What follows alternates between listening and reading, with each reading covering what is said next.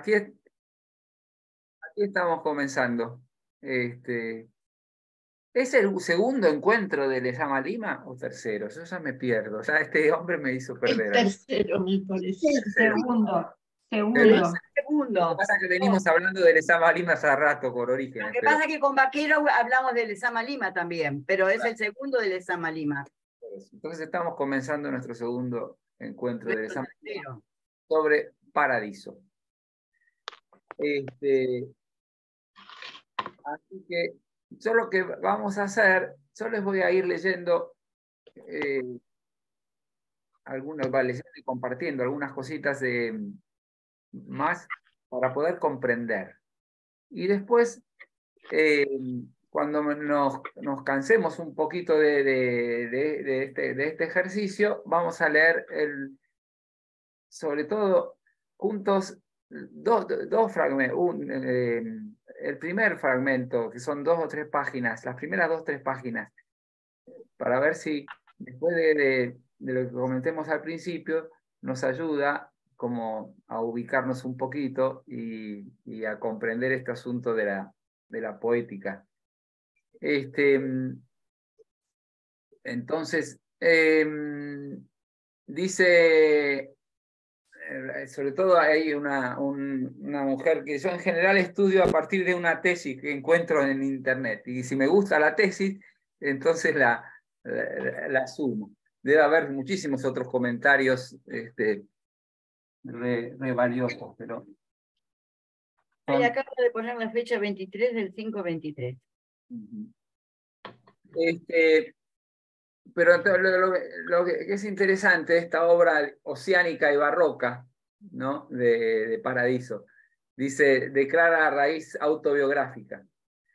Gira en torno a la infancia y a la juventud de José Semí, que es el, el personaje. Y alrededor de José Semí, el autor construye un mundo poético en que se mezcla la realidad, se mezcla el mito, la fantasía, en un, en un perfecto entramado, dice, cuya unidad la da el dominio del idioma, ¿no? Esto es una de las primeras características, ¿no? Más que ser una novela donde todo está al servicio de la trama, acá es una, por eso algunos se preguntan si es una novela o no, este, en realidad es eh, una novela al servicio del lenguaje y al servicio del lenguaje poético y al servicio de la coherencia del lenguaje poético y al servicio de la unidad que el mismo Lesama Lima le quiere dar a su fluir y a su... Entonces, este, en la medida que uno va como desarmando expectativas o modos habituales que tiene de leer una novela, entonces me parece que se, se va como amigando y va reencontrando de otra manera, ¿no? Este, fue publicado en 1966, este, le llevó como 16 años escribir esto. A mí me, yo siempre busco correlatos así intuitivos, ¿no? Es decir, o de cosas que, yo, que ya hemos visto, que ya hemos leído, pero a mí me hizo acordar en, en algo a Adán Buenos Aires de Marechal, ¿no? Entonces, es difícil porque es una tremenda novela, eh, porque es una tremenda novela también de viaje interior, porque es una tremenda novela de, de ascenso y descenso, eh, porque es una tremenda novela mítica. Entonces a mí me hizo, me hizo acordar bastante, ¿no es cierto? Si uno, eh, si fuéramos este, alumnos de, de, la Benemérita, ¿no? Tampuán, es decir, ahí de, de, le- de letra, haría, sería un buenísimo tema de estudio, comparación entre Adán Buenos Aires y, y Paradiso. Pero digo, este, una de las cosas que mm, eh, también que tiene que ver con la historia eh, es que la novela sigue como el, el- el crecimiento desde la adolescencia, la universidad, desde su infancia, los orígenes familiares hasta la universidad de, de Semí, ¿no? Y es la historia de estos tres amigos, ¿no? De Semí, Foción y Frónesis, ¿no es cierto? Eh, son tríadas, ¿no? Y donde de, de alguna manera, este, Poción es el, el prototipo del homosexual, Frónesis es el amigo más que lo, lo, lleva a la cultura y lo llena de desafíos y lo lleva eh, como si le regalara Occidente a sus pies. Y Semi es el que va haciendo eh, síntesis, ¿no? Un poco de los dos. Y en realidad se llama, ¿no es cierto?, que se dice que es como eh, es biográfico, eh, y es el, viaje interior de, de este chico que mientras se va expresando, va descubriendo eh, la iniciación a la poesía. Y va descubriendo la iniciación a la poesía, cómo la poesía inunda todo el cosmos. Y cómo la poesía cubre como la, universalidad de la, de, la realidad. Em, vamos, un pedacito de, capaz que ya lo leyeron, pero cuando lo publicaron, tuvo, como dijo Flora al principio, tuvo bastante contra. Y contra en, en dos sentidos, ¿no? por un lado, contra por eh, ser un escrito, lo acusaron de escrito pornográfico por sus este, eh, descripción así tan explícita de la homosexualidad y de la, y de la relación, ¿no es cierto?, que tenía Foció con algunos amantes o amigos, etc. Este, y también le, criticaron el ser tan eh, cifrado y tan eh, difícil de comprender y tan enigmático, es decir, por un lado. Entonces, eh, me gusta compartirles lo que dice Octavio Paz, el 3 de abril de 1967. Querido amigo, gracias por el envío de Paradiso. Gracias también por las generosas palabras que la acompañan. Leo Paradiso poco a poco, con creciente asombro y deslumbramiento. Un edificio verbal de riqueza increíble, mejor dicho, no un edificio, un mundo de arquitecturas en continua metamorfosis y también un mundo de signos, rumores, que se configuran en significaciones, archipiélagos del sentido, que se hace y se deshace el mundo lento del vértigo que gira en torno a ese punto intocable que está ante la creación y la destrucción del lenguaje. Ese punto que es el corazón y el núcleo del idioma. Además, es la comprobación de lo que algunos adivinamos al conocer por primera vez su poesía y su crítica. Una obra en la que usted cumple la promesa que le hicieron al español de América Sor Juana y Lugones y unos cuantos más su amigo fraternal. Miren, a ver si la tengo acá, lo, vamos a, lo, voy a, compartir para que le miremos un poquito y rescatemos algo de lo que dice Octavio Paz.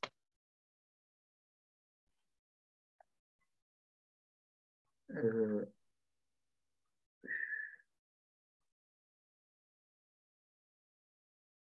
bueno, me encantaría poder este,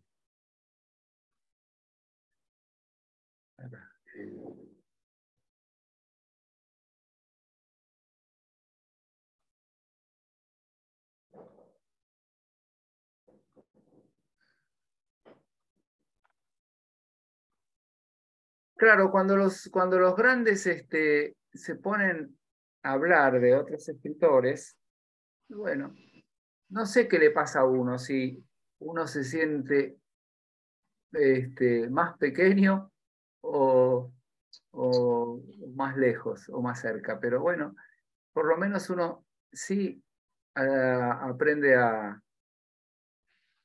a detenerse en algo que a uno le cuesta, pero que capaz que resulta muy grande.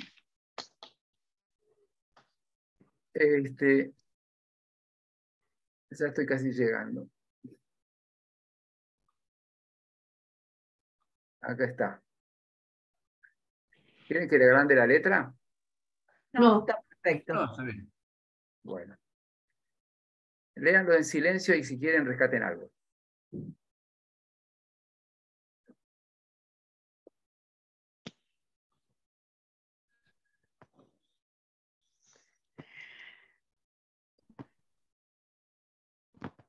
¿Qué rescatan de lo que dice este hombre? Una arquitectura en continua metamorfosis, sí.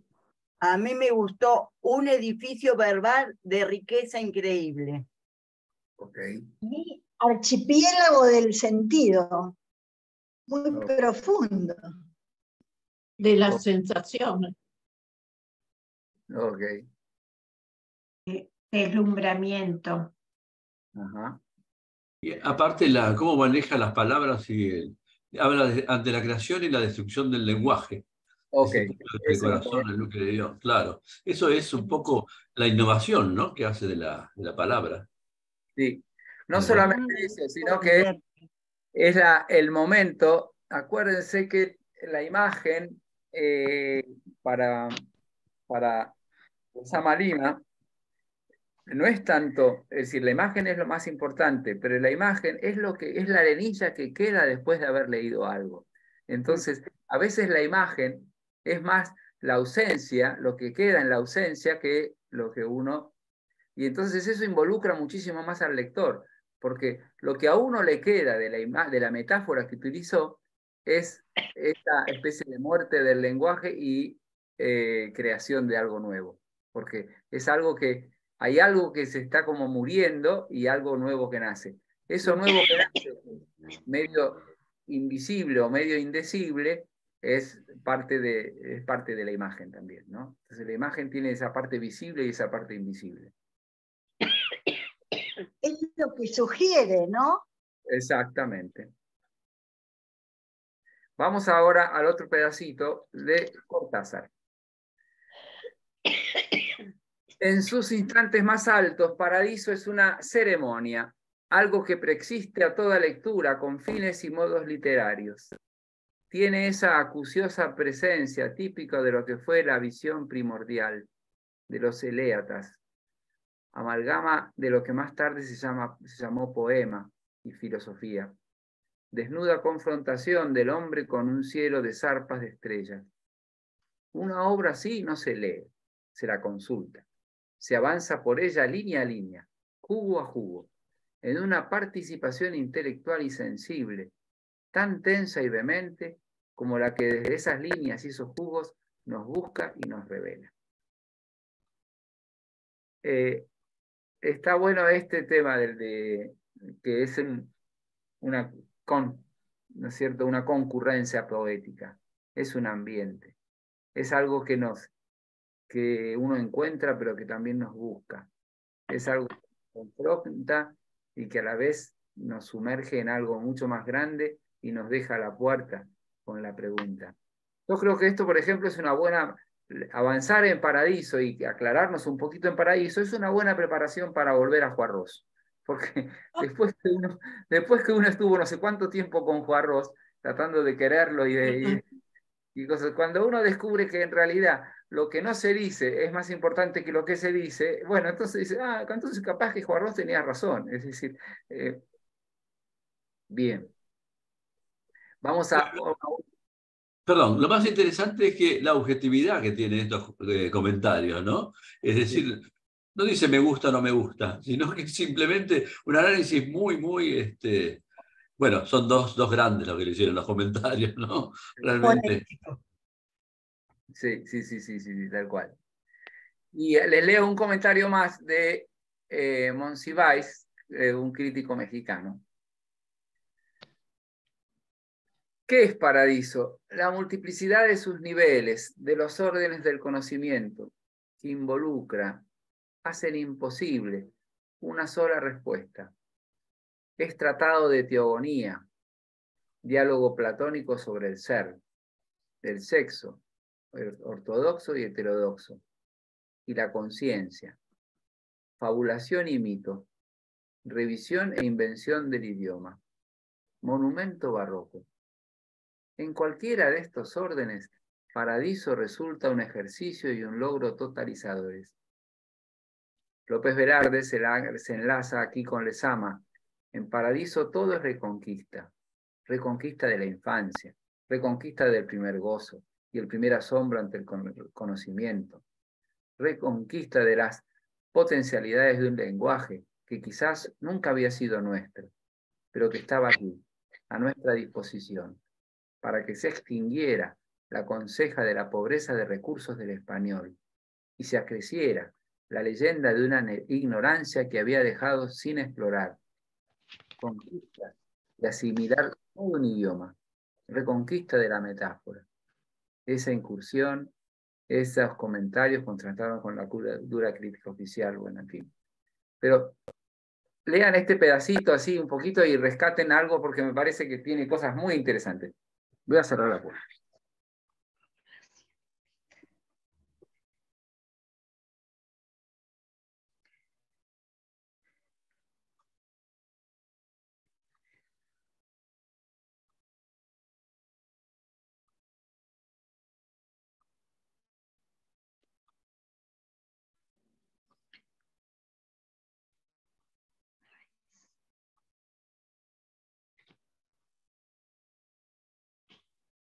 Bien. ¿Qué, quisieran rescatar?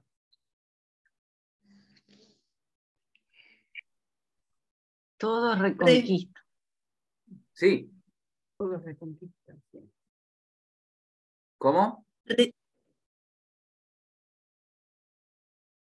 Escucha. A lo último hay una crítica hiriente de Viteo Carpentier que la califican de hermética, morbosa y pornográfica por sus pasajes homoeróticos. Pero, no, no, no, no, no, es, es al revés. Eh, la crítica eh, oficial cubana fue la que la calificó de hermética, morbosa y pornográfica, salvo Vitier y Carpentier. Ah, claro, entiendo, entiendo. Ah, sí, sí, sí, Es, exactamente al revés. Lo que pasa claro, la crítica oficial, pero menos Vitier o Carpentier. Perfecto. Exactamente. Sí, Magdalena, ¿qué querías decir? Yo ofre... Sí, sí, vos. ¿Para mí? Sí. ¿O está Magda ahí? No, no, vos, vos. La reconquista de, la de las potencialidades de un lenguaje que quizás nunca había sido nuestro. Toda esa parte de conquista y reconquista y olvido de los lenguajes me encanta, me encanta. Juan Ramón Jiménez habla mucho de eso. Ok. ¿Qué más? A mí, me, a mí me gustó mucho el comienzo, que la multiplicidad de sus niveles en el orden del conocimiento hace imposible clasificarlo desde el punto de vista de género literario, ¿no? Muy interesante. La fabulación y el mito para que se extinguiera la conseja de la pobreza de recursos del español y se acreciera la leyenda de una, de una ignorancia que había dejado sin explorar, conquista y asimilación todo un idioma. Claro. La renovación del, Una obra así no se la lee, se la consulta. Se ah. avanza por ella de línea en línea, jugo a jugo. Okay. Y aparte habla sobre los, los pilares de, la, de, de, todo esto, que es la reconquista de la infancia, ¿no? Recuerda mucho su infancia y sus, sus primeros este, experiencias, ¿no? Ajá. Muy bien. ser interesantísimo leer, este, leer, por ejemplo, comparar párrafos de Marechal y de Lezama Lima. Eh, y Marechal es una obra, el, eh, Adiós Buenos Aires, eh, Buenos Aires. magnífico. ¿Cómo? Adán, Buenos Aires. Sí, Adán Buenos Aires. Perdón, le pregunto. Sí. Perdón, quería, quería em, eh, lo que sigue de, lo que les decía Luisa, que me parece que es un poco la, lo que hace Vicente, que con estas clases que dice en una participación intelectual y sensible tan, bueno, tan tensa y vehemente como la que desde esas líneas y esos jugos nos buscan y nos, y nos revela. Mm, okay. Eso me gusta. No, le, voy a preguntar a, nuestro profesor Vicente. Eh, nunca escuché teogonía. ¿Qué sería teogonía? teogonía es el origen de los dioses. O sea, teogonía es decir, es el, origen del universo con el nacimiento de los dioses. Perfecto, perfecto. A ver, eh, eh, pará, yo lo voy, a, lo voy, a, confrontar con las muchachas eh, experimentadas, con Leo y con Luisa, que pueden decir si estoy en lo cierto o no, porque ellos han hablado de teogonía muchas veces.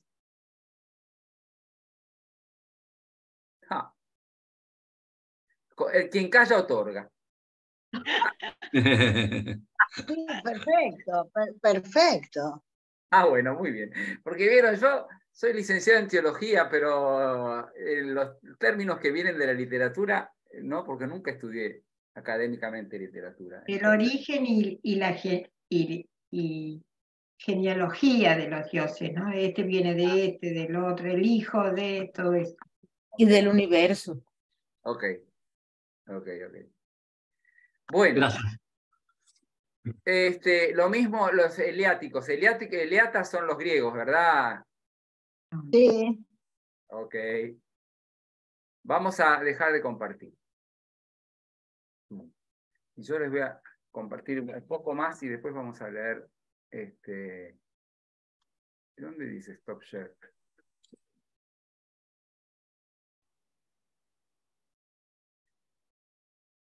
Eh, miren, está bueno esto de, mm, de ir descubriéndolo, eh, la, la, pluralidad, la, sí, la pluriformidad de, de planos, de, de, aspectos. Entonces, si de pronto, ah, Leo se nos fue y está volviendo. Si de pronto nos, este, nos sentimos este, perdidos, bueno, bienvenidos. Mm. Digo bienvenidos porque eh, es una novela para perderse y encontrarse una y otra vez. Este, por eso hay que leer línea por línea. y volver, y volver. A mí lo poquito que leí me pasaba eso. Sí, línea por línea, pero no, como decía, no pretender entenderlo. A mí me gustó lo que dijo Magdalena de Gozo. Yo me, dice que se me, me se, sumerge y deja que la, el ambiente la, la lleve, porque si uno pretende entenderlo, eh, claro, se, se, cansa porque la inteligencia se fatiga. Además es lindo entender. Sí. Eh, bien. hay una, una búsqueda uno de los temas principales en Paradiso es, es este viaje iniciático, desde la niñez hasta la universidad, hasta el encuentro con su maestro Licario, que es una especie de sucedáneo de su padre, su padre el coronel que se muere pronto. Y si hay como todo un, un viaje eh, biográfico e iniciático de, es decir, que su maestro es quien lo introduce en el mundo de la poesía para que sea un, un, poético universal. Este, también eh, me parece que, que eh, Lesama Lima quiere eh, como enseñarnos a que hay una, de, contarnos que hay una unión, que esa a mí me interesa mucho, porque Rosa no solamente con, lo, eh, con la metáfora, sino que rosa con lo filosófico y con lo teológico, que es, hay una unión que está perdida. Y que, para, y que tiene que ver con lo que decimos, eh, lo que dijimos la vez pasada, ¿vieron? Que eh, él, en la poesía, que la poesía era justamente fragmentos donde él quería ir surciendo la fragmentación que vivimos. ¿Se acuerdan cuando hablamos de la vez pasada de la mm. fragmentación?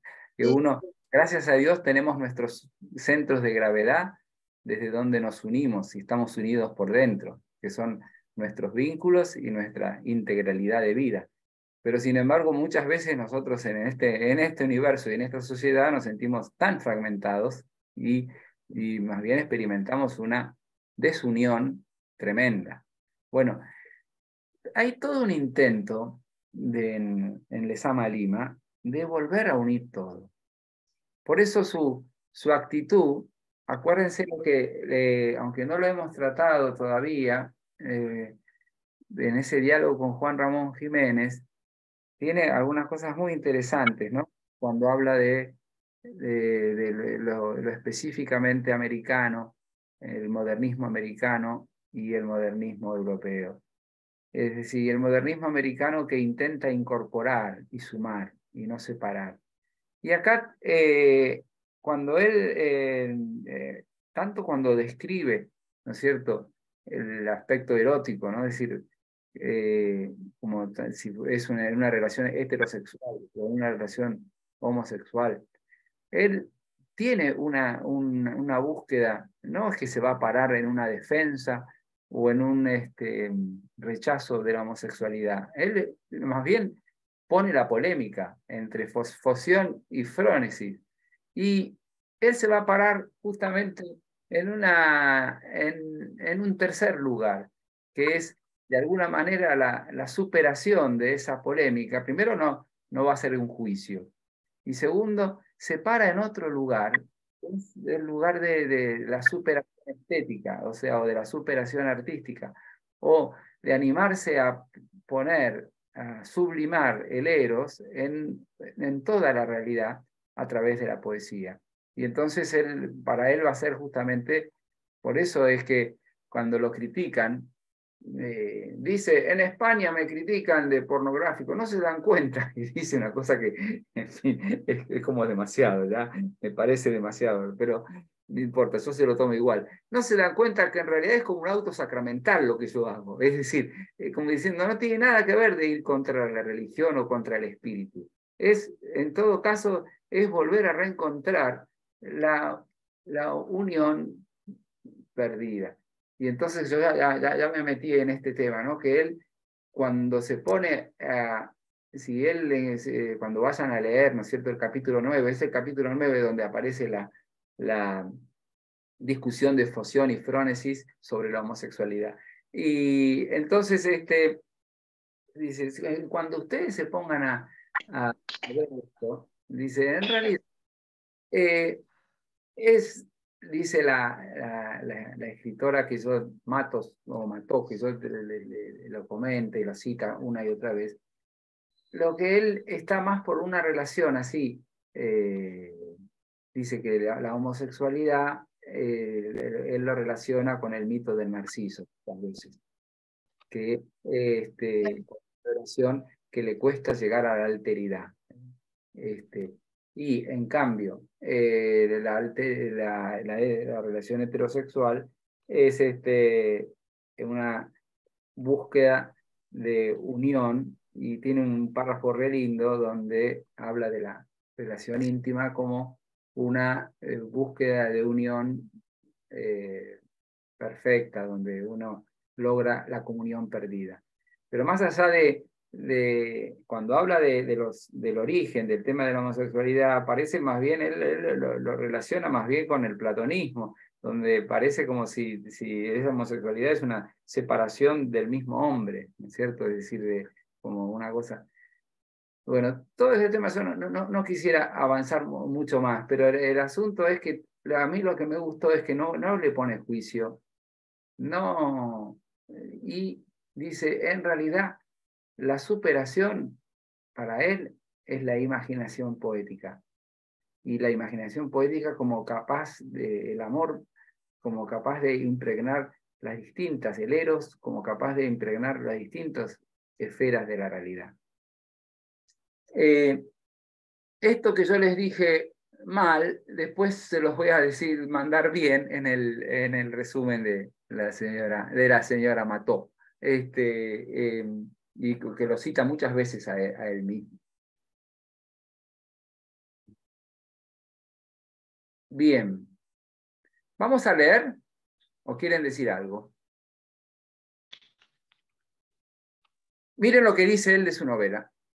Parto para hacer mi novela de una raíz poética, metáfora como personaje, imagen como situación, diálogo como forma de reconocimiento a la manera griega.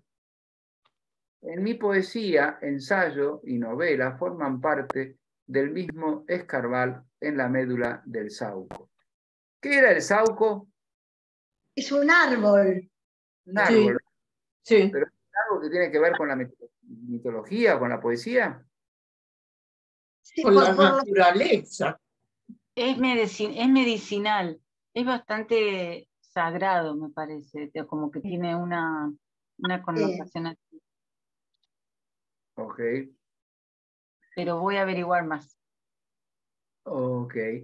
Sigue diciendo, hablando un poco del, de, para que comprendan un poquito más el, el itinerario, ¿no es cierto? Es un camino, toda la novela, un itinerario vital, lleno de pruebas, verdadero ciclo esotérico de iniciaciones que el personaje central debe superar para alcanzar una meta, que en este caso resulta ser su ingreso en la poesía, el reino de la imagen. Eh, silogística, la silogística del sobresalto, que se basa en los dos términos de la metáfora y la imagen, suscita el esquema de la tríada en que está basado el agrupamiento de los dos personajes. Semi, foción y frónesis. Son los tres términos del conocimiento metafórico lezamiano.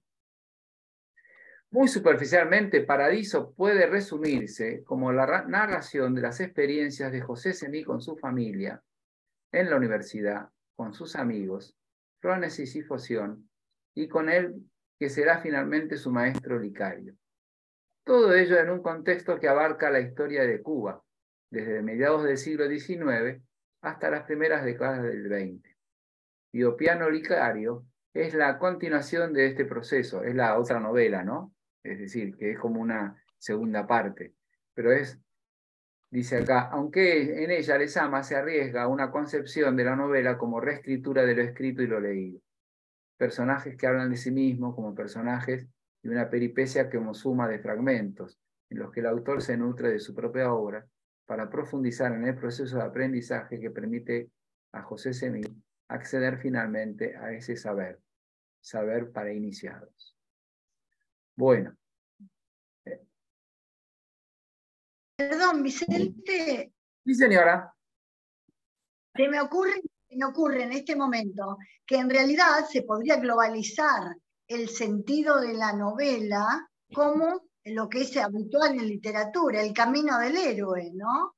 Ajá. A ver, explícalo. El camino del héroe en cuanto a las peripecias con que se encuentra en ese tránsito por la vida para llegar al objetivo final, que en este caso es la poesía. Claro. Y aparte, es un camino laberíntico, en ese sentido. Y es un camino donde, lo, eh, por eso es un camino esotérico, porque se relaciona entonces ortodoxa y heterodoxamente con la religión. Acuérdense que, que como decíamos que el, el catolicismo, que lo decía Fina García Marruz, ¿no? que el, catolicismo que, ¿no es cierto?, que tenía era más bien de, eh, Lesama era católico, pero no, no un católico militante, pero sí que tenía como una base en su espiritualidad de la doctrina católica, la tenía muy fuerte, pero a la vez incursionaba en, en, en, las religiones orientales, en, las, en el budismo, es decir, incursionaba en otros aspectos. Y que lo van llevando como por vericuetos sinuosos y, laberintos del lenguaje para ayudarlo al protagonista para que viaje por distintas realidades, para que se inicie en el lenguaje de la poesía, que es justamente lo que construye la metáfora constante y lo que construye esa arquitectura que él realiza. Entonces, esa estructura de lenguaje que él realiza es la estructura de la novela y no al revés. ¿no? Es decir, por eso es tan lindo cuando uno de pronto se queda con una parte, como se queda con un verso, porque un fragmento para nosotros puede ser la novela entera, como diciendo, acá nos llegó. Así que en ese sentido, bueno, vamos a, a compartir pantalla para leer hacer lectura juntos este, de eh, el fragmento, a ver, ah, capítulo 1, a ver si era este. Sí, es este. Vamos a... Este, así leemos un poco, nos metemos en... Y cuando nos detenemos un poco, sigo leyéndoles un poco más para comprender y comentan un poquito de la lectura. Este es el primer capítulo donde el pequeño Semi está sufriendo, y yo no, no, yo estoy sufriendo con el, con, con mi amigo, el, este,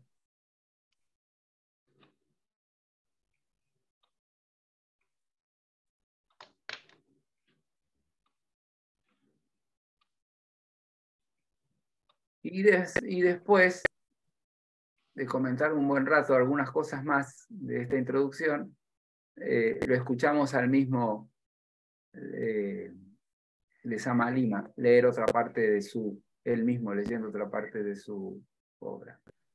Ahí estamos. Empiezo leyendo y después este, continuamos la lectura.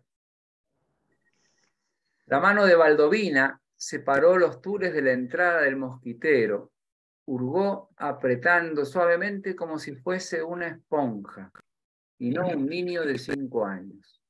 Abrió la camiseta y contempló todo el pecho del niño lleno de ronchas, de surcos, de violenta coloración, y el pecho que se abultaba y se encogía como teniendo que hacer un potente esfuerzo para alcanzar un ritmo natural.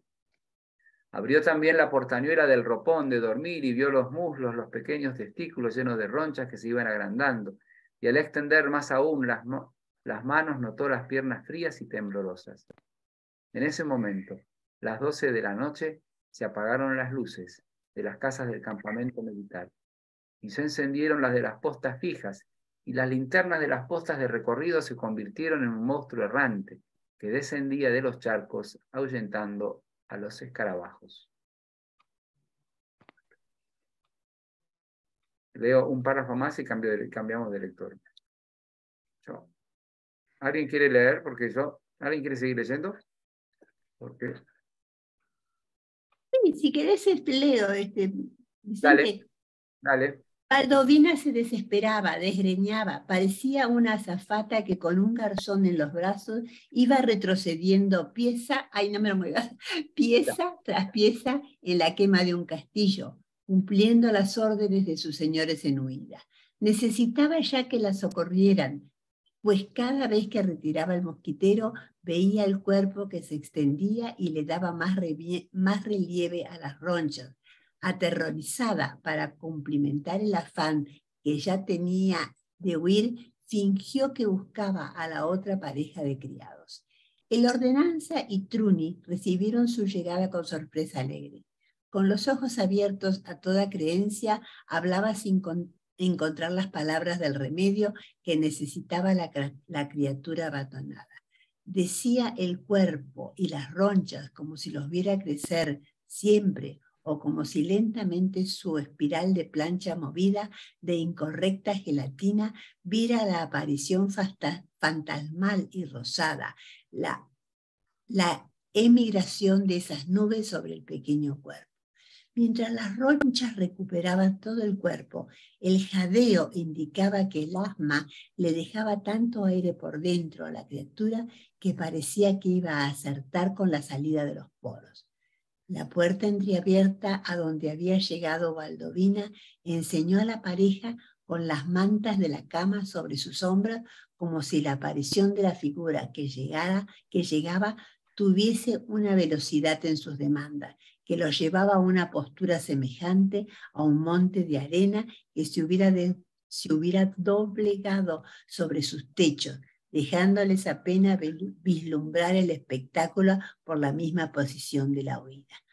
Muy lentamente le dijeron que lo frotase con alcohol, ya que seguramente la hormiga león había picado al niño cuando saltaba por el jardín y que el jadeo del asma, que tenía importancia, que por eso se iba y venía y que durante ese tiempo el cuerpo se prestaba a un dolor que después se retiraba sin perder la verdadera salud y el disfrute.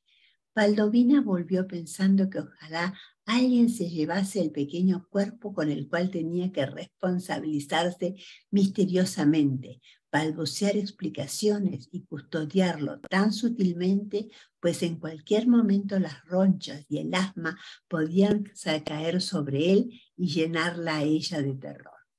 Después llegaba el coronel y era ella que tenía que sufrir una ringlera de preguntas a las que respondía con nerviosa advertencia. Cuatro, cuatro setenta, quedándose un contrapunto con tantos altibajos, sobresaltos y mentiras, que mientras el coronel baritonizaba sus carcajadas, Baldovina se hacía leve, desaparecía, desaparecía, y cuando se la llamaba de nuevo, hacía que la voz atravesase una selva oscura. Tales imposibilidades que había que nutrirse ese eco con voz de tantas voces que ya, que ya era toda la casa que parecía haber sido llamada y que a Baldovina, que era solo un fragmento de ella, le tocaba una partícula tan pequeña que había de reforzarla con nuevos perentorios, cargando más el potencial de la onda sonora. Ok. Bien. Eh, yo lo que digo, vamos a leer dos párrafos más, dos lectores más y después hacemos comentarios y llegaremos a la página 2, capaz, y bueno, pero es como, sigamos leyendo un poquito más. ¿Quién quiere leer? ¿Puedo ser yo? Dale, para que lo El teatro... sí, el teatro nocturno de Valdovina era la casa del jefe. Cuando el amo no estaba en ella, se agolpaba más su figura se hacía más respetada y temida, y todo se valoraba en relación con la gravedad del miedo hacia esa ausencia. La casa, a pesar de su suntuosidad, estaba hecha con la escasez lineal de una casa de pescadores. La sala, al centro, era del tamaño tal que los muebles parecían figuras bailables a los que les fuera imposible tropezar ni aún de noche. A cada uno de los lados tenía dos piezas. En una dormían José Semí y su hermana. En la otra dormía el jefe y su esposa, con una salud tan entrelazada que parecía imposible, en aquel momento de terror para Valdovina, que hubiesen engendrado a la criatura jadeante lanzando sus círculos de ronchas. Después de aquellas dos piezas, los servicios, seguidos de otras dos piezas laterales. En la de la izquierda vivía el estudiante primo del jefe provinciano que cursaba estudios de ingeniería. Después de dos piezas para, después dos piezas para la cocina, y por allí el mulato Juan Izquierdo, el perfecto cocinero, soldado siempre vestido de blanco, con chaleco blanco al principio de la de semana.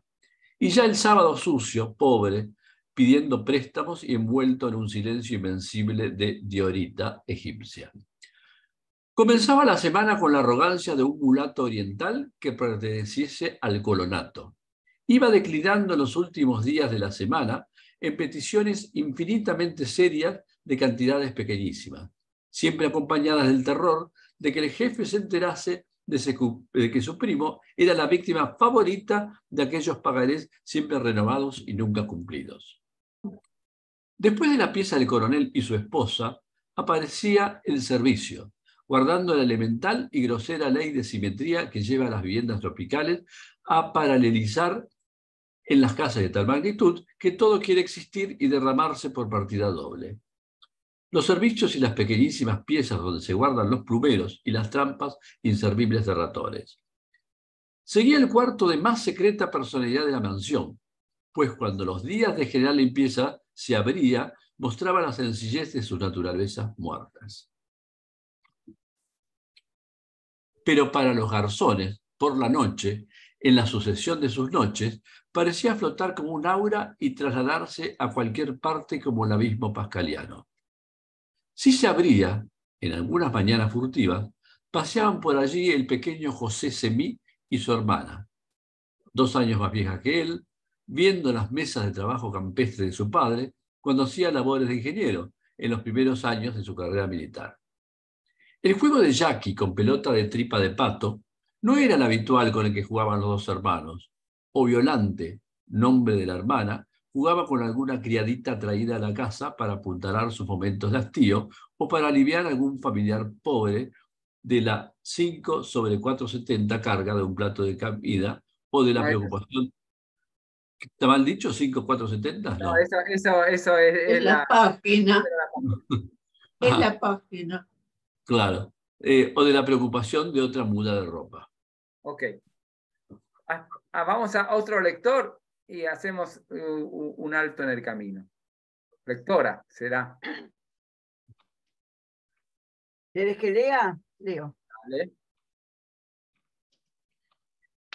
Los libros del coronel, la enciclopedia británica, las obras de Felipe Trigo, novelas de espionaje de la Primera Guerra Mundial.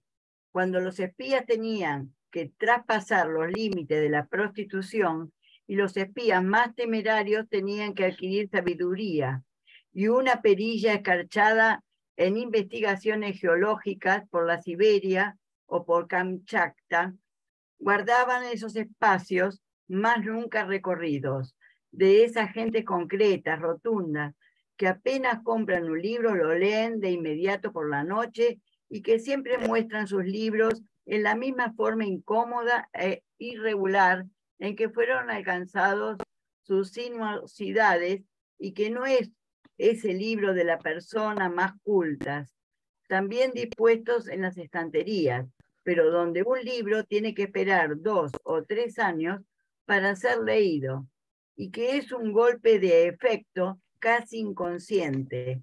Es cierto, semejante a los pantalones de los elegantes ingleses usados por los lacayos durante los primeros días hasta que cobren una aguda sencillez.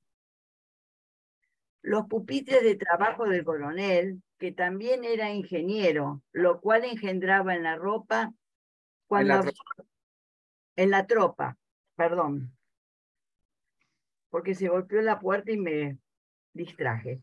Cuando Absorta lo veía llenar las pizarras de la práctica de las artillerías de costa, la misma devolución que pudiera haber mostrado ante un sacerdote copto o un rey cazador asirio. Sobre pupitre cogido con alcayatas ya oxidadas, papeles donde se diseñaban desembarcos en países no situados en el tiempo ni en el espacio, como un desfile de banda militar china situado entre la eternidad y la nada.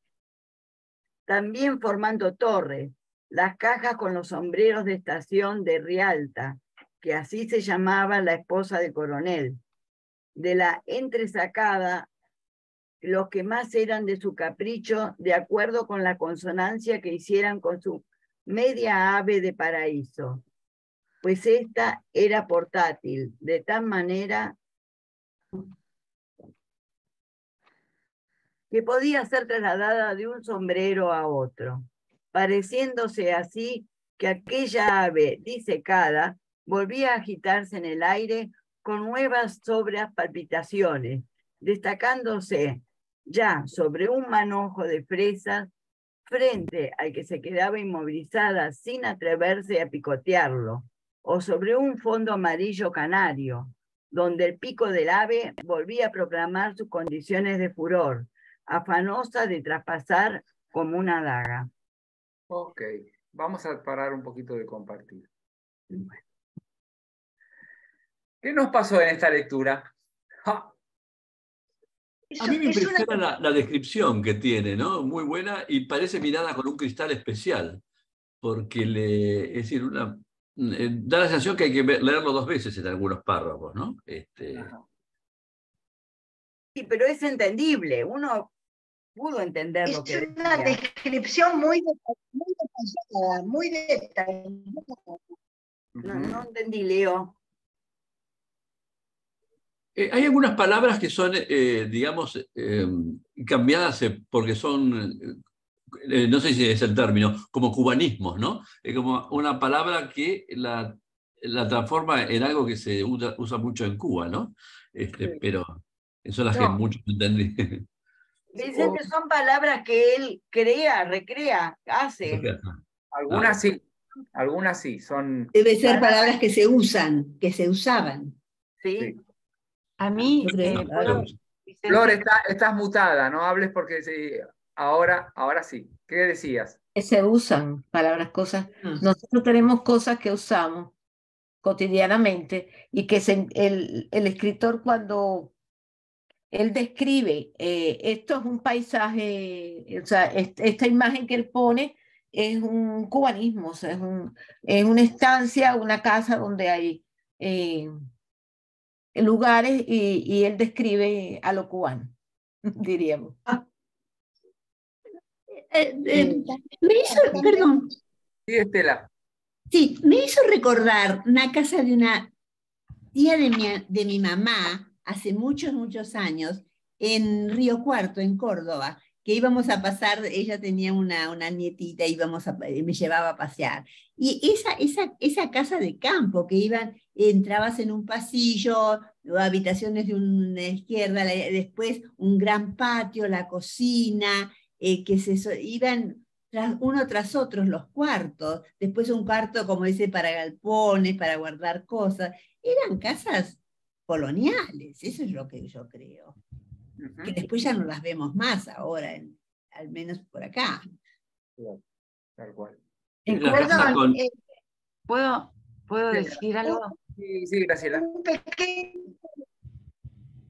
Eh, que a mí me recordó una parte de todo tan la manera de escribir, eh, cuando Octavio Paz dice que era un vértigo en relación a un punto que es el idioma, y habla de, Lugones y de Sor Juana, cómo, cómo maneja el lenguaje. Eh, ya casi no, no entendía bien de qué estaban hablando, pero cómo, cómo centrado en el idioma, ¿no? Me parece una belleza cómo maneja el idioma y me recordó esa frase que leíste más temprano. Ok. Leo. Florea mucho. Bueno, yo advertí que él salpica, podríamos decir, la descripción con ciertas reflexiones que va haciendo, como, adelantando eh, de alguna manera una conclusión ¿no? sobre lo que está viviendo vive. Y aparte, lo que pasa es que tiene también un modo por eso la discusión si es novela o no es novela es válida, porque tiene un modo de escribir muy antinovelístico. ¿Por qué? Porque eh, los personajes todos tienen su fisionomía, su modo de hablar. Entonces pareciera que fuera un solo personaje. Porque hay un relator que es omnisciente, que, es como la conciencia de todo, que es el mismo autor y que incluso él como autor se mete en el discurso y entonces hace que, eh, eh, claro, no, no, no respetar algo básico de la novelística, que es que los personajes sean definidos, identificables, que sean este, de alguna manera que tengan su personalidad, que tengan su gusto.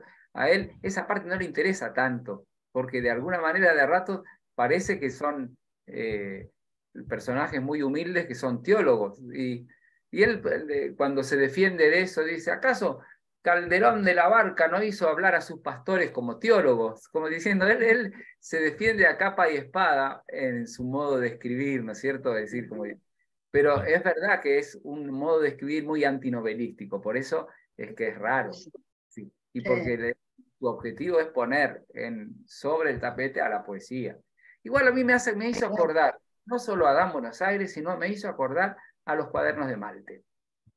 O sea, Malte, Lauret Bridge, este, Rilke, ¿no es cierto? Ese, ese camino iniciático del joven que se, que se pierde por las calles de París, por la suciedad de París y que mezcla su tristeza en los muros de, de la París del principio del siglo XX.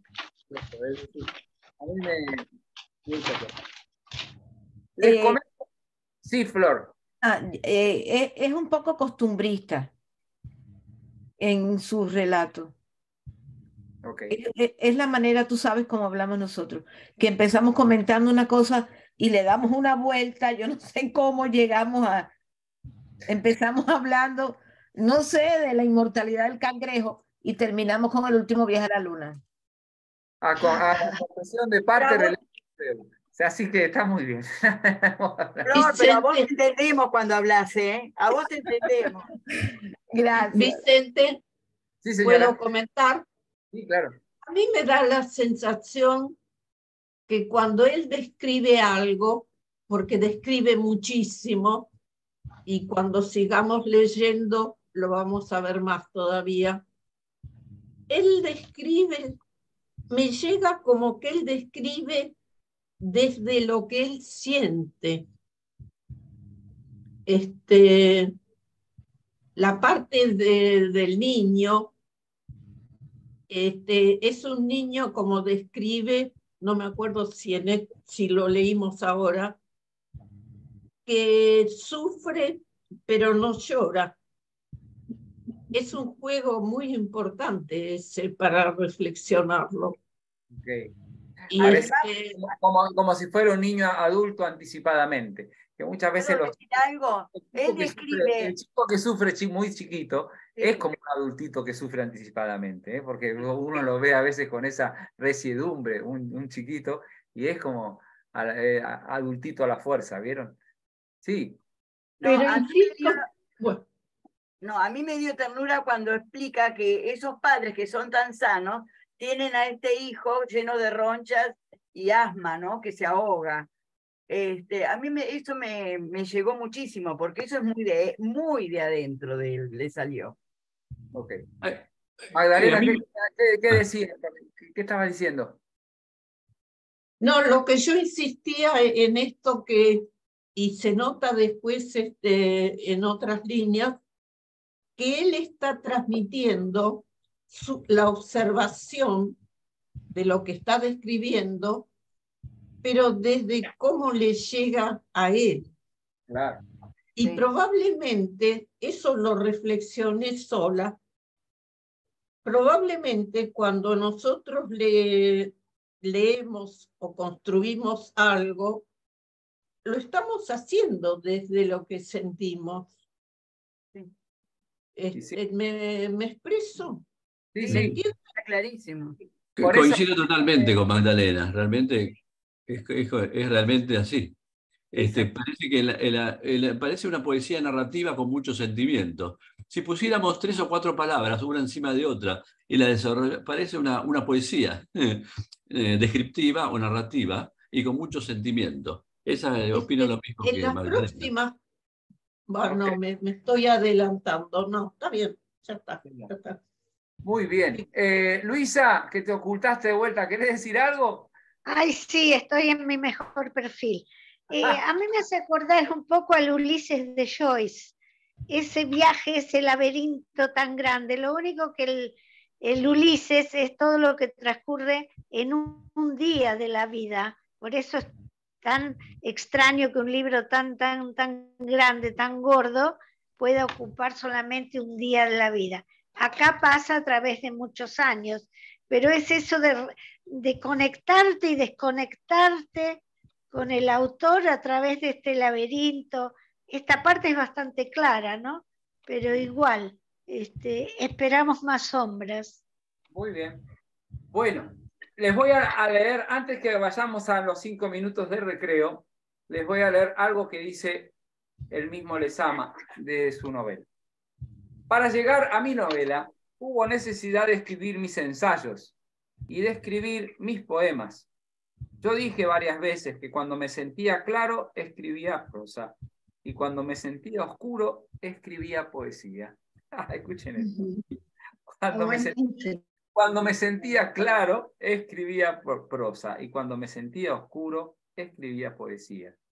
Es decir, mi trabajo oscuro es la poesía, y mi trabajo de evidencia, buscando lo cenital, el cielo, lo más meridiano que podía configurar en mis ensayos, tiene como consecuencia la perspectiva del paraíso.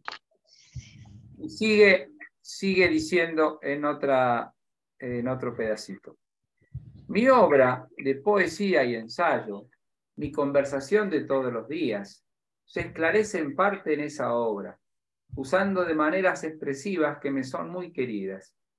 Yo diría que la metáfora de mi poesía, de mis ensayos, de mi conversación, avanza hacia la imagen de paraíso.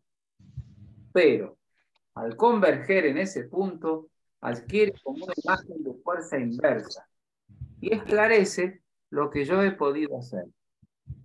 Para un escritor que ya ha cumplido sus días, sus ejercicios, el centro del paraíso es la novela.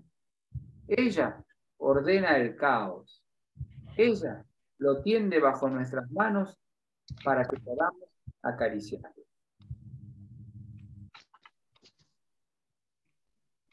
Digo una cosita más. Paradiso es pues una que dice acá la comentadora. Paradiso es una novela de iniciación a la poesía, tal como lo exhibe Lezama, quizás con el mismo sentido pedagógico que tuvo el curso délfico que ofrecía a los jóvenes poetas que querían ser sus discípulos.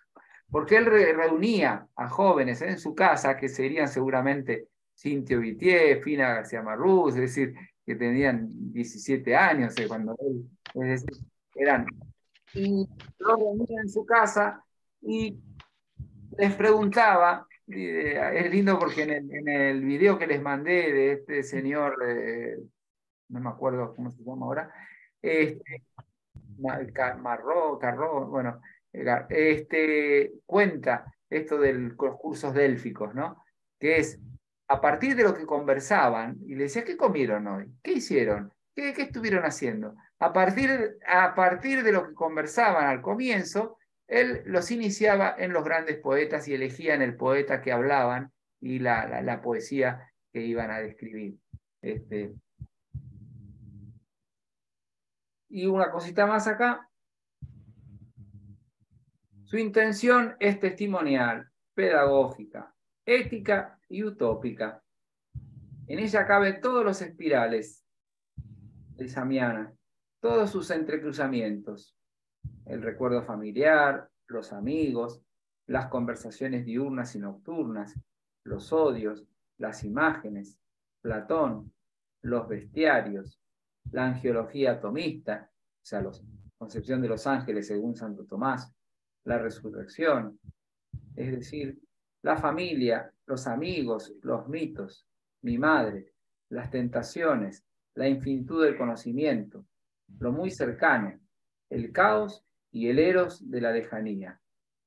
Sin descartar lo autobiográfico, a los que dicen que esperan a su madurez para escribir sus memorias, les llega primero la fascia del primer lóbulo frontal y luego la pérdida total de la memoria es decir, autobiografía fundada, fundida con poética, siguiendo las coordenadas del sistema poético del mundo y todo lo que ésta conlleva. conlleva. Suma en que el autor pone todo lo que ha acumulado su inteligencia. Chan. Este, vamos a hacer nuestros cinco minutos de recreo. Bueno. Vicente, perdón, Sí. yo por lo menos estoy muy a la expectativa de que nos digas alguna palabra sobre la poesía no se encarcela. Ah, bueno, después. Me parece una maravilla.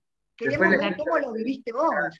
¿Podés repetir, ¿Podés repetir la poesía que dijiste? Eh, la poesía. La poesía no se encarcela, lo de los poemas. de, tu actividad. De tu actividad Después, después les cuento. Vamos a descansar. Después de recreo. Después de recreo. Que busca esta actitud incorporativa de, de Lesama, y, este, y que quiere volver a reconstituir, reconstituir la, la unión entre los fragmentarios, de, los, de, de todo lo fragmentado, me parece hermoso, porque él, lo, como que cree un universo propio a través de la, de la metáfora y del lenguaje poético. Y es capaz de encontrar magia en, en cada parte de la realidad. Y por eso eh, dice acá, es uno de los rasgos más llamativos, eh, dice acá la, comentadora que sigo, dice, es uno de los rasgos más llamativos de las novelas de Lezama, el hecho de que la más olvidada tradición occidental, oriental o universal puede ser evocada con toda naturalidad. Por ejemplo, a propósito de una conversación de sobremesa entre los personajes, a través de las sorprendentes asociaciones que permite el sistema poético y la imagen omnicomprensiva. Lo que hace Paradito o, Piano Licario, que es la, la otra novela, algo así como una cátedra de humanidades. Algo heterodoxa, en que les ama vuelca su saber, pero no se convierte en epígono de una tradición cultural concreta, porque las asume todas y les impone su propia personalidad. Eso explica la abundancia de aproximaciones a uno u otro aspecto y la capacidad que Paraíso ha tenido y tiene para generar una enorme suma de lecturas posibles, incluidas las decididamente antilesamianas, que magnifican tanto las perplejidades de fondo como las extravagancias formales. Tal vez por ese mecanismo de defensa del que también hablaba Julio Cortázar. Entonces me, gusta, ¿no es cierto?, decir, esta universalidad temática es, es una especie de, bricolage, es una especie de mezcla este, que utiliza eh, Lesama Lima, donde mezcla tantas cosas que, que encima él las une en una coherencia de estilo poético y en una coherencia de, imagen y de metáfora que es como vertida y volcada en el relato, pero que después la deja suelta. Es decir, hay muchas que las deja, hay muchos temas que arranca y los deja sin terminar.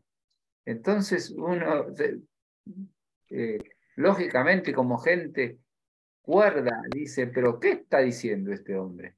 Este, y en realidad son, son como senderos abiertos que deja eh, así, los deja abiertos. Eh, dice, Hay dos palabras este, que me impactan. Eh, cuando antes estuviste leyendo algo de las sombras, este, creo que era en un pasaje crítico de, de, una, una, mujer, me parece. Y ahora cuando dijiste le, le, le impone su propia personalidad, es así como lo siento. Claro, sí, sí, sí, sí, es así.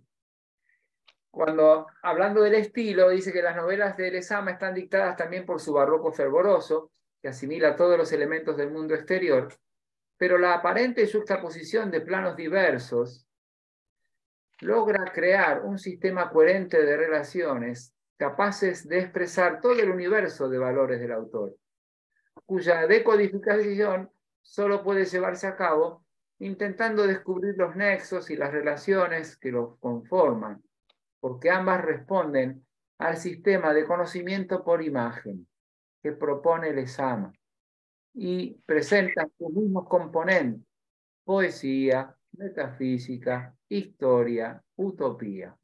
De ahí la resistencia que opone a la clasificación genérica, como diciendo, no es solo poesía, no es solo filosofía, no es solo culturalismo.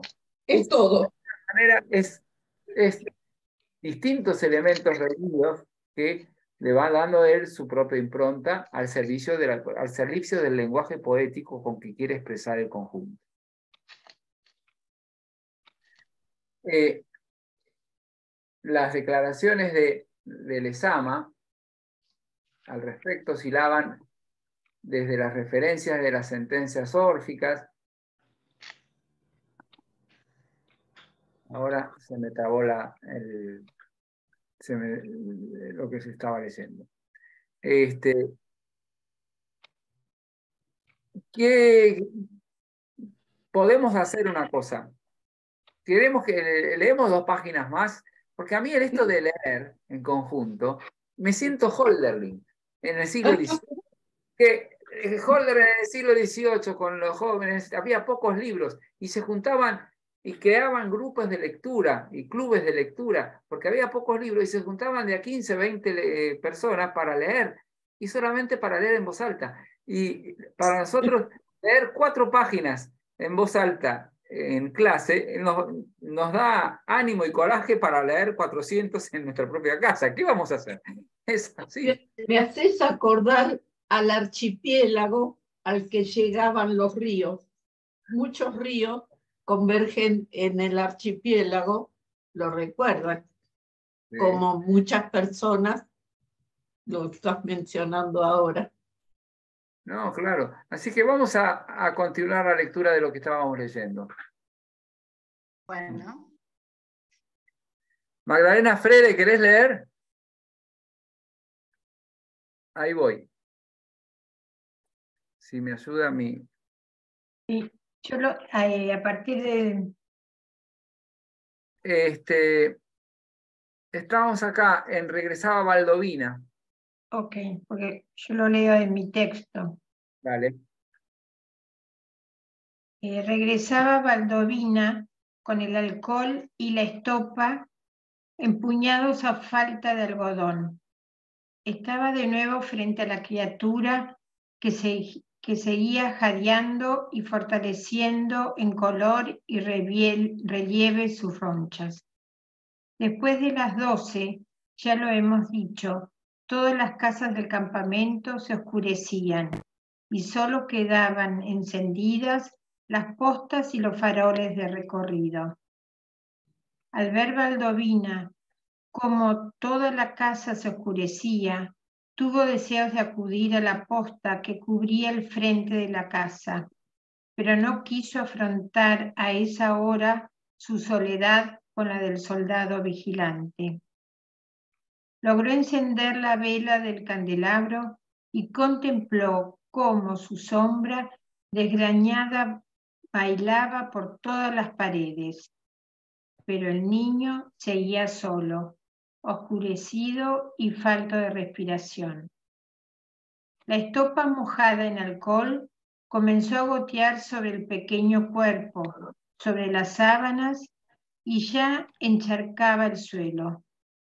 Entonces, Valdovina reemplazó la estopa por un periódico abandonado sobre la mesa de noche y comenzó a friccionar el cuerpo, primero en forma circular, pero después con furia, a tachonazos, como si cada vez que eh, surgiese una roncha le aplicase un planazo mágico mojado en alcohol.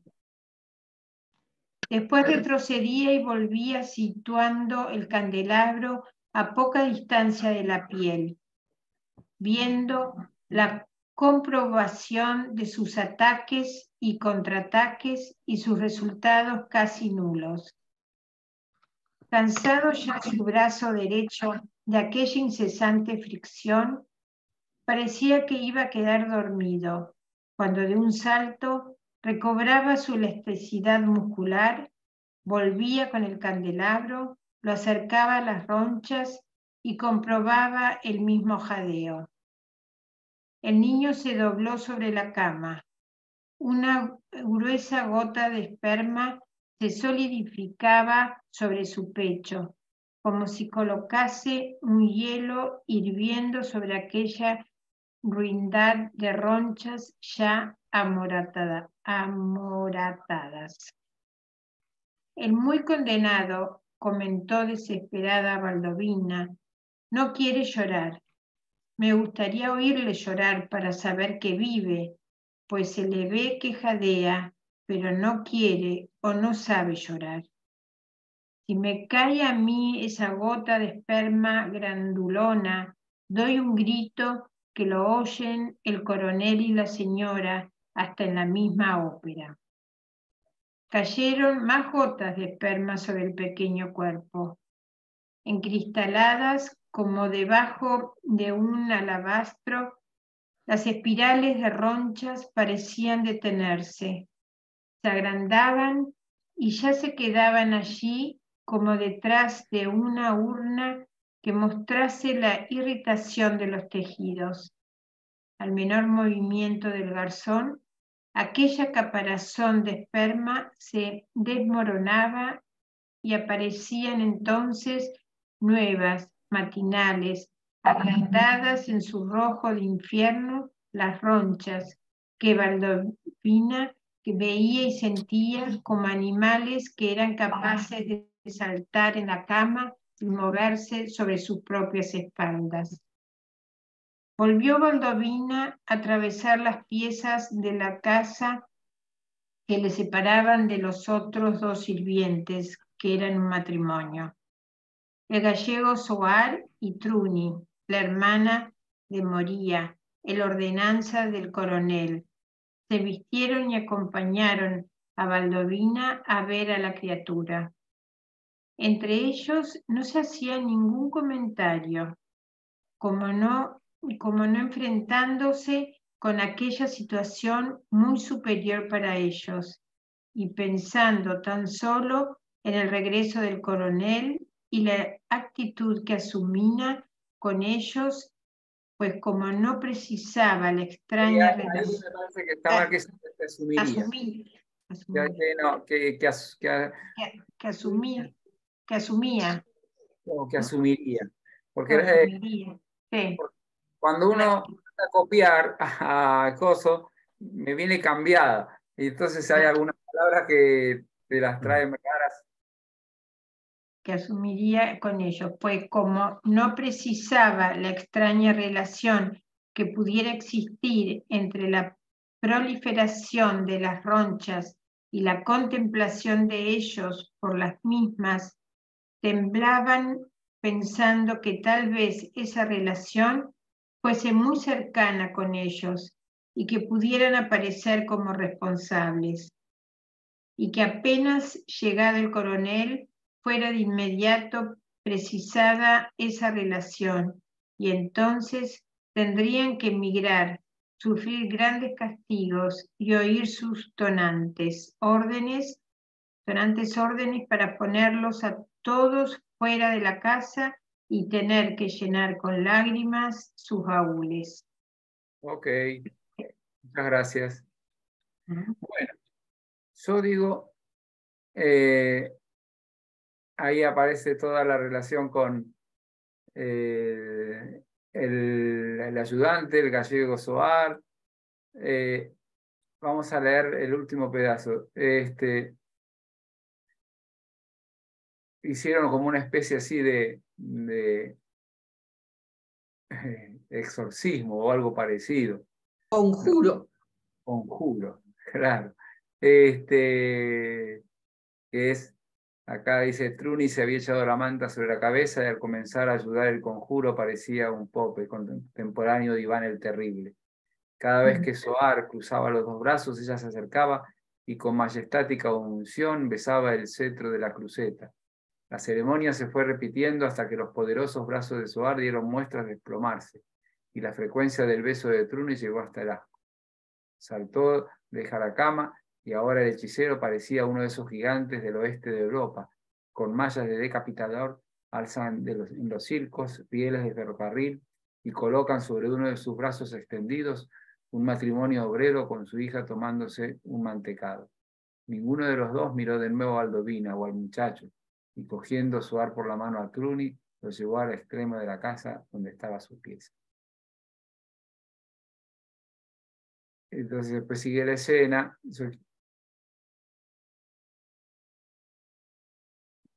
Acá la, eh, la consecuencia en Semí. Comenzó el pequeño Semí a orinar un agua anaranjada, sanguinolenta, casi donde parecía que flotasen escamas. Valdomina tenía la impresión del cuerpo blanducho quemado en espirales al rojo. Al ver el agua de orina, sintió nuevos terrores, pues pensó que el niño se iba a disolver en el agua. o que esa agua se lo llevaría afuera para encontrarse con el gran aguacero de octubre.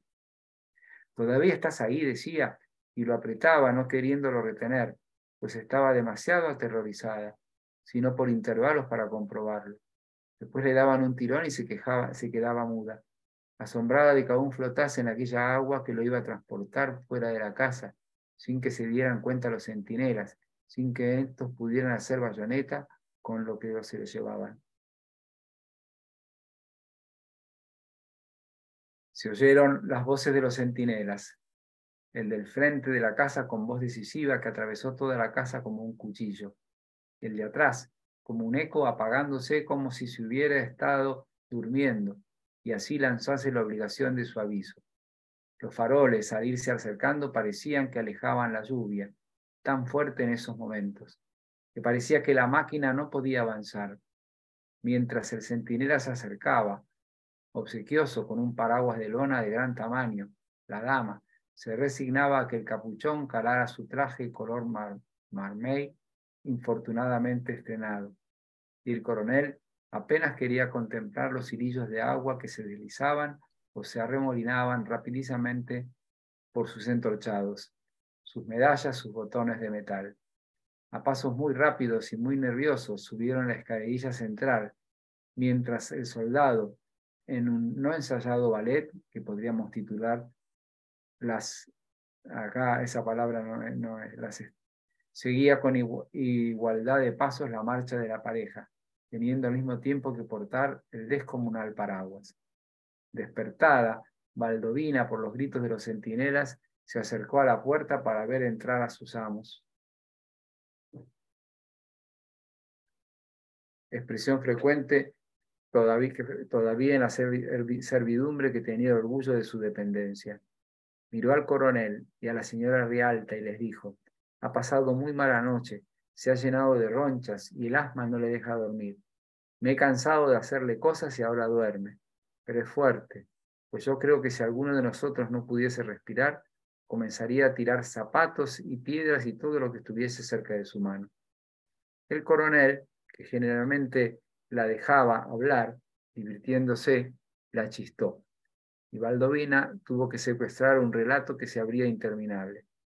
Los tres se acercaron a la cama, pero todas las huellas de aquellos instantes de pesadilla habían desaparecido.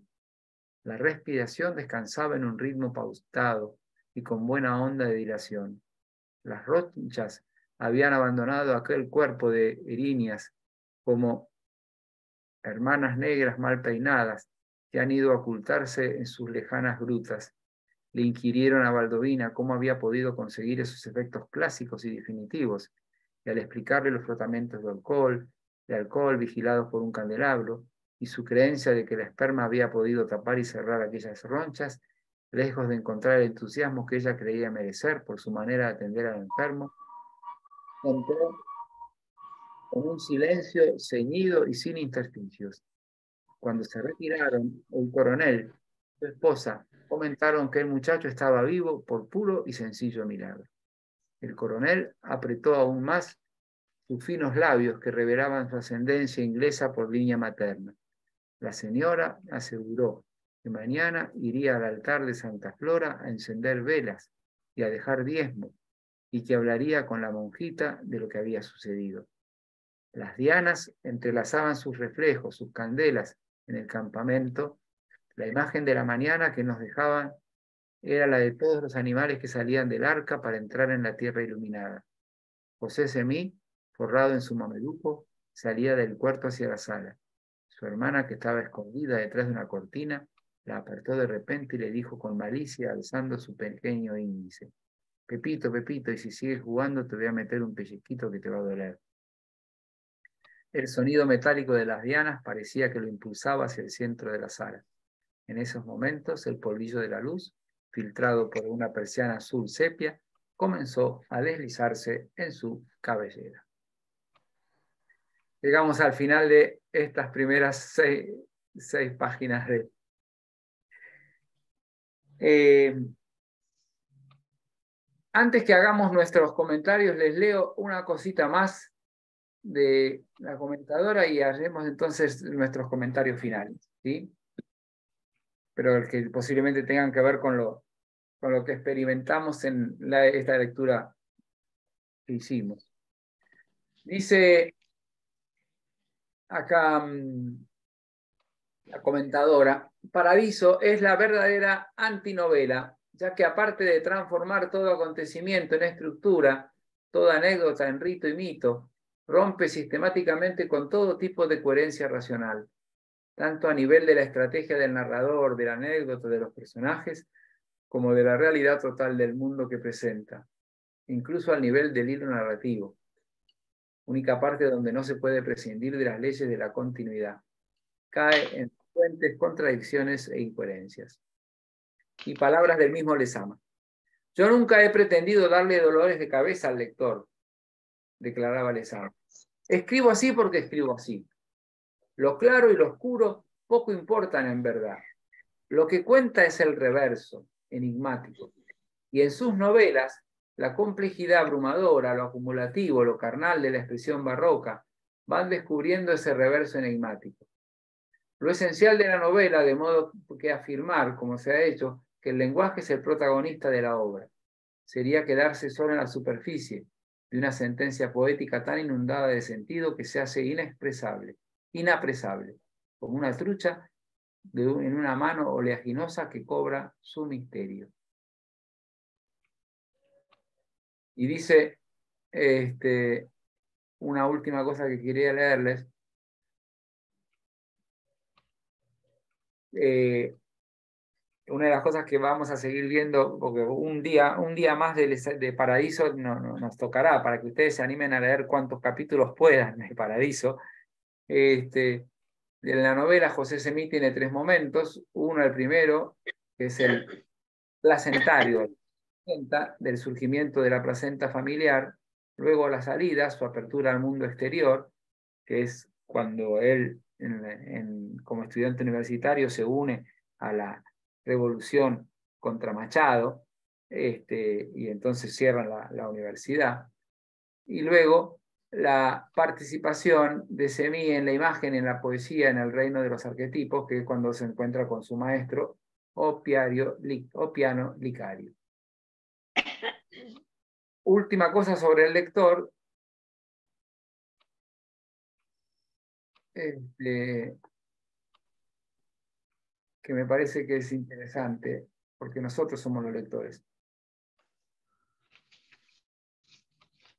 Dice, a ver, esperen, ya lo voy a encontrar. ¿Qué tipo de lector?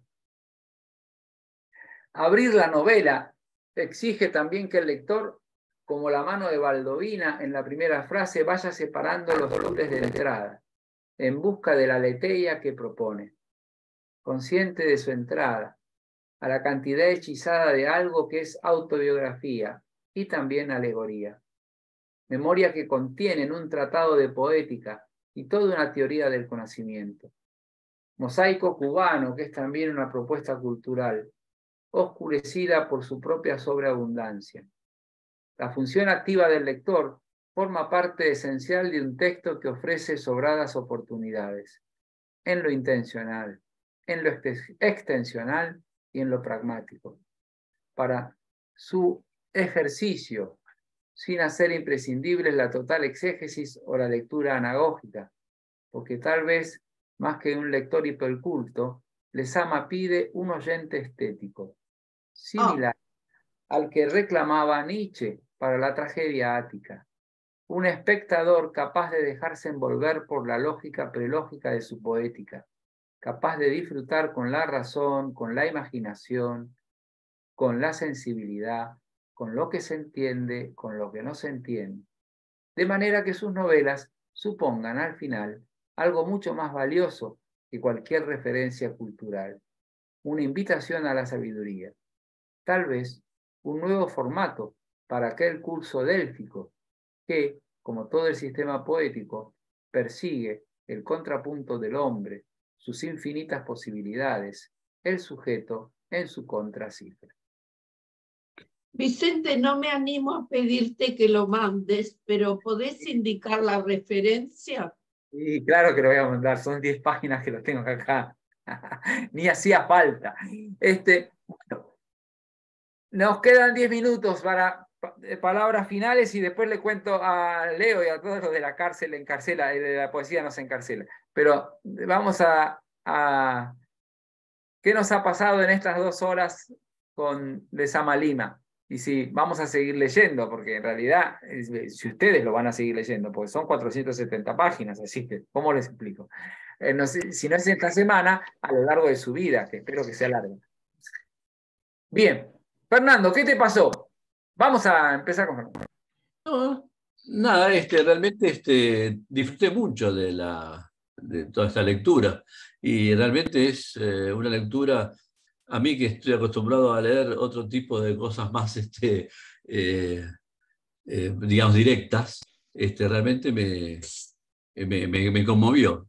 este, digamos, como decían aquí, es una descripción que se, se entiende, pero eh, vista con una, este, con una este, digamos, literatura este, eh, que hay que acostumbrarse a, leerlo. Digo, a medida que vamos avanzando en la lectura, es como que se entiende más.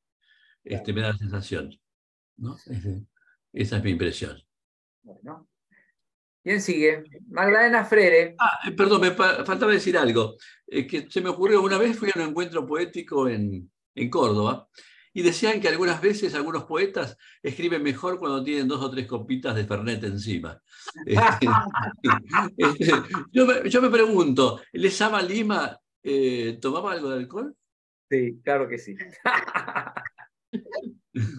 Porque el alcohol corta los reflejos inhibitorios, así que probablemente. Claro. Este, probablemente. con el mayor respeto, ¿no? Por supuesto, este, pero es probable. Magdalena Frede.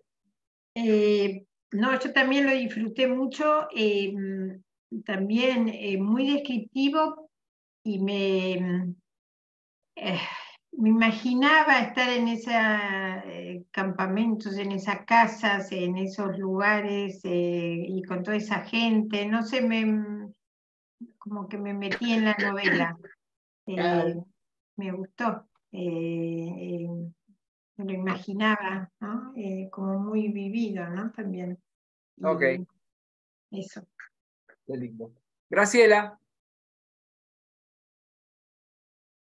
Bueno, yo me siento como eh, alentada en lo que dijiste que tenemos toda la vida para leerlo, eh, y, pero me siento bien llamada cuando vos dijiste que era reclama un oyente estético. Eh, con la imaginación, la sensibilidad, lo que entiende, no entiende. Así que bueno, creo que como me siento identificada, seguramente algún día incursionaré más, pero es muy, eh, es muy especial. Yo noto mucho eh, el tema del protagonismo del lenguaje, aunque alguien dijo, dijo por ahí que decir eso era superficial, pero por ahora me quedé con que maneja el lenguaje de una manera increíble. Y bueno, algún día puedo ser eh, ese oyente estético que me la lea, pero por ahora voy a poco. Ok. Estela. Sí, este, me, quedé pensando, ¿qué relación tendrían en esos, en esos años todos, por ejemplo, los, los grandes, eh, los grandes eh, novelistas de los 60, de los 55, de peruanos, chilenos, con Cuba, si tendría Lesama Lima, tuvo alguna influencia sobre todo el boom de los 60 en Latinoamérica. Eh, no, no, no, sé en qué momento si, si tenían comunicación ellos o, o a través, o, o, si Lesama Lima había ido a Europa y podría con, haberse, haberse conectado con los eh, latinoamericanos en París. Mm, no, los italianos.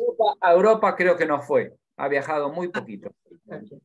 Este, eh, pero, en fin, es un, es un tema re interesante el tema de las influencias y del intercambio, porque, pero tiene un intercambio epistolar muy fuerte. Y en, en el diálogo que tiene con eh, eh, Jiménez, ahí aparece una cosa muy interesante, que es el, la fuerza de, de la cultura americana puesta en México, en Cuba y en Argentina, ¿no? Es decir, como lugares eh, así fuertes de cultura que eh, de alguna manera tomaron una eh, vivencia de la cultura universal, pero americana y propiamente, ¿no? Es decir, y, entonces estaban en un diálogo constante, ¿no? Pero hay, en esa reflexión que hacen de la insularidad y, y qué tiene que decir, y ahí, pero seguimos.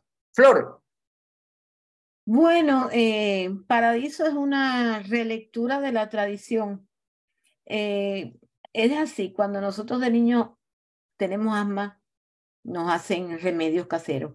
Si tenemos problemas de estómago, nos dicen, Vicente sabe, estamos empachados y buscan a alguien que sabe y nos soba por la pierna y nos antigua y encienden humo y ya, y nos curamos por arte de magia.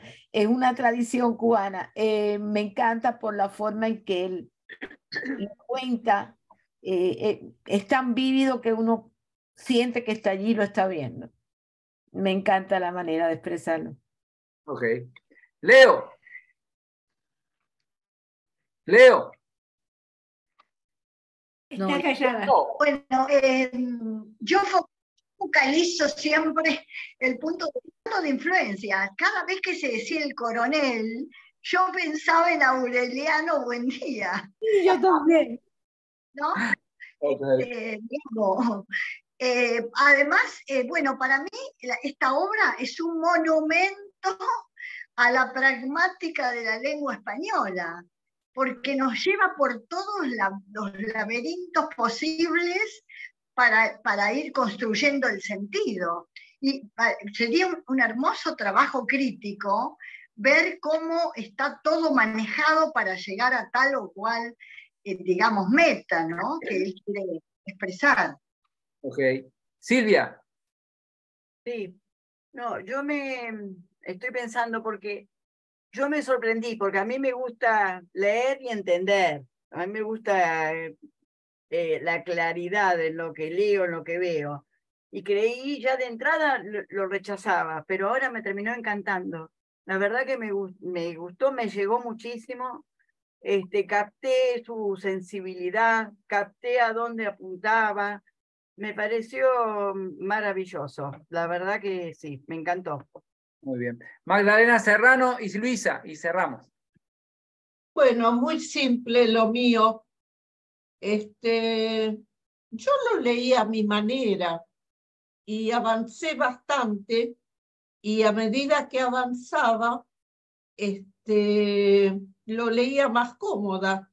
No pretendí nada más que lo que yo sentía. Pues este, hay este, ahora futuro, este, cuando él recorre un parque de niños y después lo vincula con un bosque, me di cuenta que estaba muy cómoda leyéndolo. Lo estoy. Qué bueno, qué bueno. Sos una lectora estética. Luisa. Este, ¿Puedo recuperar el título del poema del... ¿Puedo recuperar el título del poema del amigo de Flor? Nos visitó un un animal extraño nos visita. Bueno, yo le cambio el me y nos visitó a nosotros, al grupo, el animal extraño. Mm. Y quiero destacar cuando eh, llega el amo a la casa y le cuentan la, de la enfermedad del hijo, me encanta la frase, logró secuestrar un relato que parecía interminable hay que lograr eso, ¿eh? Como en vez de decir, la hizo callar, ¿de qué manera tan hermosa? Y cierro diciéndole a Fernando que hay un antiguo dicho, al vino veritas, o sea que el vino suelta la lengua y deja salir la verdad. Y la poesía también. Nada más. Está muy bien. Bueno, antes de, terminar, les cuento que sí, lo que yo les mandé del, de los poemas es un... Cada 15 días estamos yendo con un, pequeño equipo, porque me pidió el padre Juan Nacho, de, encargado de pastoral penitenciaria, estamos yendo con dos señoras y, un joven, y tenemos cada 15 días estos talleres literarios. Y con mucho entusiasmo los chicos, son, es un programa que ellos se suman y claro, y les dan como determinados créditos al sumarse y tienen que hacer, eh, tienen que hacer tarea. Este, eh, en realidad lo tienen todas las semanas. Yo voy cada 15 días porque es el, el, tiempo que puedo disponer. Pero ellos, en el primer encuentro, lo que hice yo fue repartirles las poesías que nosotros hemos visto, muchísimas, porque son retazos del día que me quedaron del Día Internacional de la Poesía. Se los repartí uno, un pedacito a cada uno, y de ahí ellos tomaron y escribieron su propio poema y algunos. Y ahí es que con lo que nos devolvieron, fue muy lindo, bueno, mi sobrino lo, le dio con la, esos programistas de inteligencia artificial, este, le dio forma, foto y lo corregimos los títulos, porque esto de la inteligencia artificial para mí me, asombra un montón. Lo que pasa es que de ratos te, te, dice está muy bien y de ratos dice esto es patético, porque en realidad eh, unen palabras eh, que, que uno mismo le da pero le falta esa, esa inteligencia y sensibilidad que uno le quiere dar. Más allá de A eso... Mí me, asusta. Entonces, el asunto es que después, el, otro día, que fue esa foto que ustedes vieron, este, con ellos les proyectamos su mismo trabajo y cada autor leía su poema y otro joven lo comentaba. Y ah. fue un, durante una hora de atención. ¿no? de, una hora de atención así continua y de y muy, muy, muy lindo, porque iban eh, contando e interpretando el, justamente lo que hacemos nosotros, que es el impacto que le produce esa misma poesía y lo que tiene que ver con la historia de su vida. Así que en realidad fue, fue muy lindo y ellos se, se sintieron muy puestos en valor, así que fue, fue muy bueno. ¿Y cuándo, cuándo empezaste con esto, Vicente? Eh, no, tuve dos encuentros nomás hasta ahora. Pero vas con dos personas, dos personas más. No, no sé, no, no te entendí, Leo.